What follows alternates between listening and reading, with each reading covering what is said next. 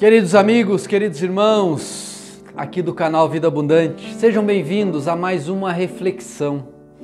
Eu estive ausente nos dois últimos dias, estávamos em retiro aqui com a nossa igreja, estava no meio do mato, no, no alto de uma serra, e lá o único Wi-Fi que a gente tinha era o nosso joelho tocando no chão e a nossa fé alcançando o céu e nós estávamos falando com Deus.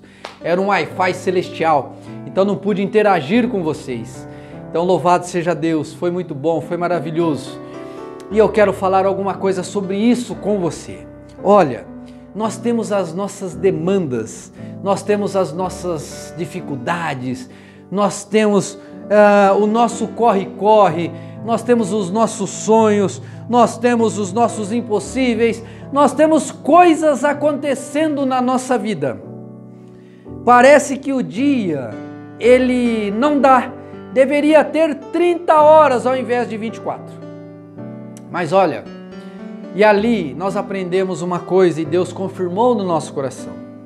Nós precisamos, nós necessitamos, é fundamental, ó, ouça, é fundamental que você encontre no seu dia, seja pela manhã, seja no meio do dia, seja à tarde, seja no final da tarde, seja à noite, seja de madrugada, eu não sei.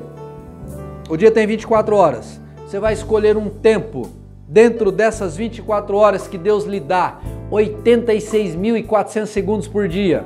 Uma matéria-prima chamada tempo. Você vai encontrar um tempo, um momento para estar com Deus. Tudo o que nós precisamos é de Deus.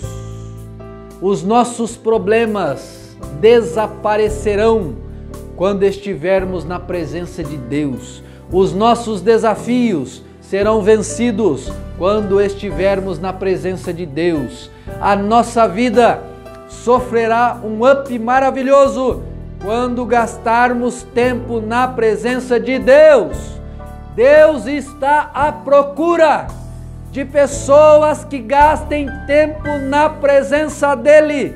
Ele quer relacionamento de qualidade. Ele não quer fast food espiritual. Ele não quer que você passe o dia inteiro e que você nem diga bom dia a Ele, nem boa tarde, nem boa noite. Que você não ore nem no momento da refeição. Não! O Senhor está voltando e Ele convoca a mim, Ele convoca a você para vivermos esta experiência maravilhosa que é todos os dias, de alguma forma, em alguns momentos, usufruir, se relacionar com o Deus da nossa vida, com o Senhor Jesus Cristo.